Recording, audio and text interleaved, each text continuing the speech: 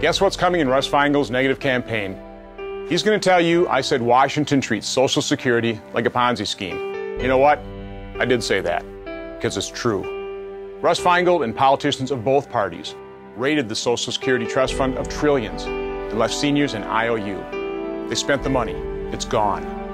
I'll fight to keep every nickel of Social Security for retirees, and I'll respect you enough to tell you the truth. I'm Ron Johnson, and I approve this message.